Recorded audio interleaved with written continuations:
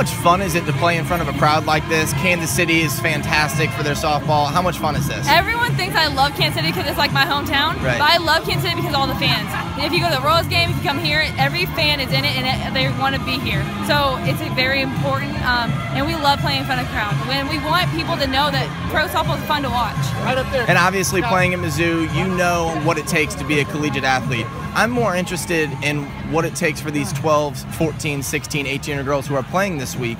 What does it take for them, and, and how important is this tournament for them? Um, honestly, have fun is the main thing. So a lot of girls forget that this is supposed to be a game. It's not supposed to be a work, like a job or anything like that. Um, we still have fun. We're pros. We're 24 years old. Some of us are older than that. Um, if we come out here and we stress the fact that we need to do every every little thing right, which you do, but you also have to have fun with it. Um, so yes, going into the going into the college, people are looking at you, um, but you still have to remember why you started playing. How much fun is it to play in front of an environment like this? You know, a lot of people out here tailgating beforehand. What is this experience like for you? It kind of makes it like a real pro experience for these girls to come to a game, get all the experiences that we get when we go to an MLB game right. kind of thing. And they have people to look up to. They get to see really good softball, the highest level possible. And um, they see that we're having fun, so then they can know that they need to just have fun too. And what about for you? You know, being able to play in front of a crowd where where it kind of seems like there's a lot of energy in it. What does that do to you as a player throughout the game? It's my favorite. Um, I guess I've, I played in front of a lot of people before, right. the Women's College World Series stuff,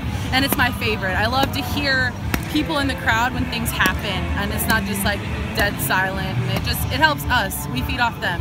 So it's just really, it's a fun atmosphere. Playing in front of an environment like this, obviously the city of Kansas City very excited with the tournament this week. What is it like playing in front of a crowd like this? I mean, this is amazing. Anytime we can tie it in with, you know, a, a tournament, the World Fast Pitch Championship, I mean, it's huge. And uh, you see how many girls are cheering for us in the stands, and this is how we want every game to be if, if we had it our way, you know.